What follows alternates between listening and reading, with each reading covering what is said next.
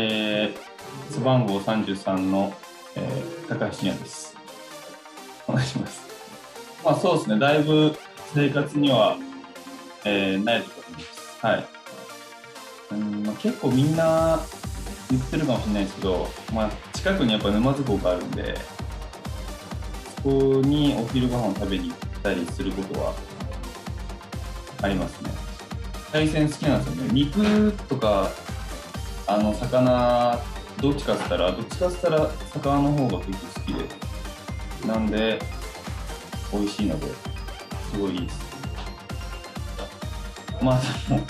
田舎なんで、秋田がすごく。なんでやっぱ近くにいろいろうん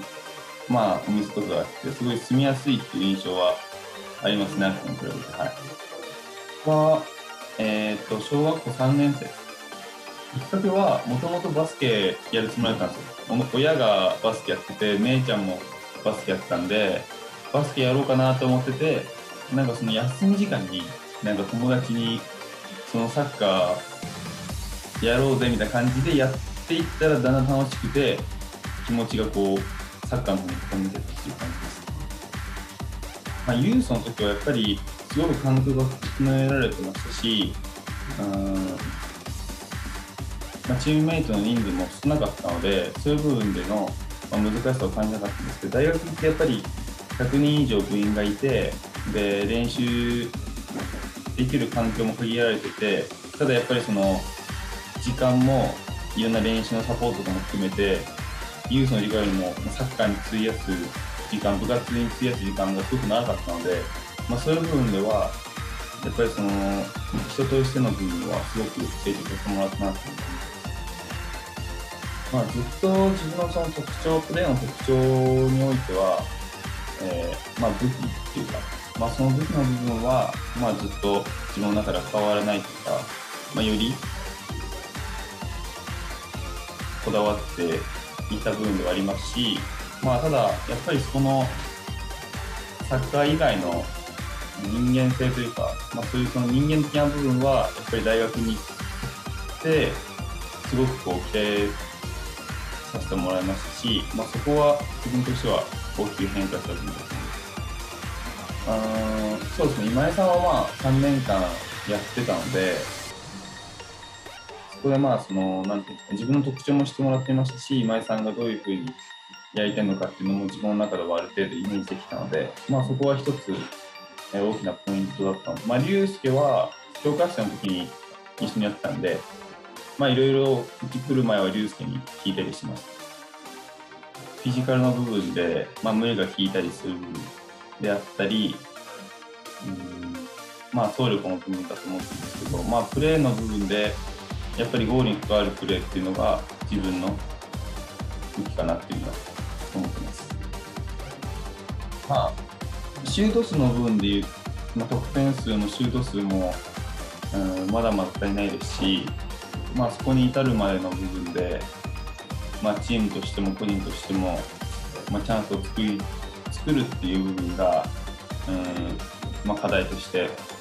あるのかなと思います。このチームに移籍する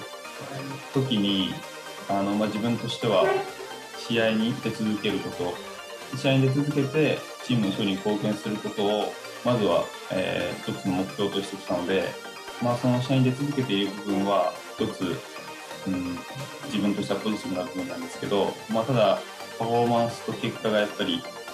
まあ、チームの部分に含めて出てないのでこのところはうんやっぱりもっともっとやっていかないといけないなというふうに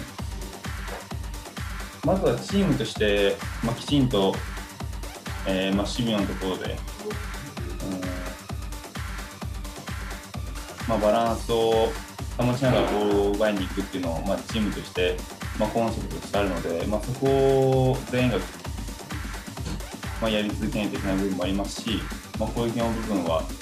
普通得点が、えー、前の試合までなかったので、まあ、そういう部分ではもっともっとチームとしてチャンスを作り続けていかないといけないなと思います。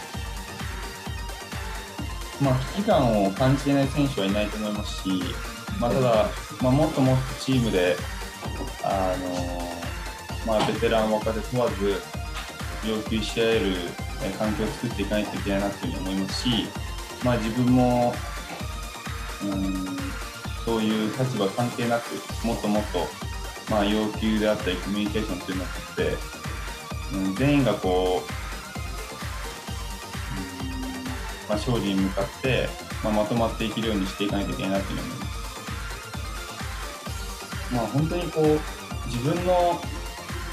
ためだけに最初はやってたんで自分が楽しいというか、まあ、その部分でやってたのが、まあ、だんだん、まあ、チームとか、まあ、応援してくれてる人に対する責任っていうのが生まれていったので、まあ、そこは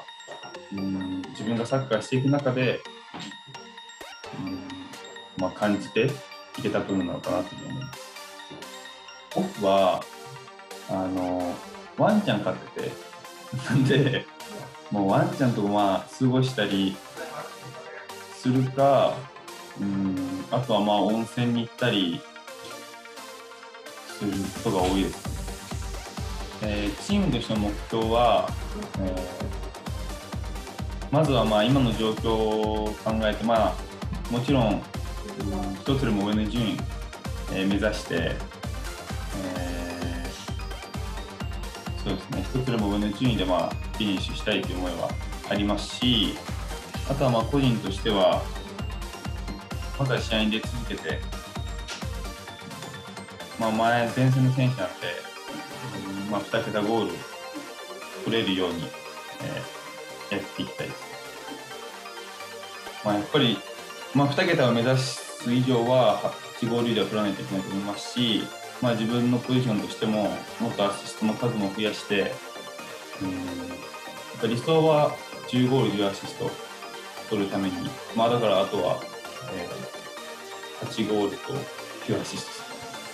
ト。なんでまあそこは自分の中でも数字にはこだわっていきたいなと思います。いつも応援ありがとうございます、えー、チームとしてなかなか結果が出てない中ではありますが、まあ、ここから、立ち直って練習をしていけるように、えー、チーム全員で、えー、まとまって戦っていきます、えー、これからも応援よろしくお願いします。全力アーセル。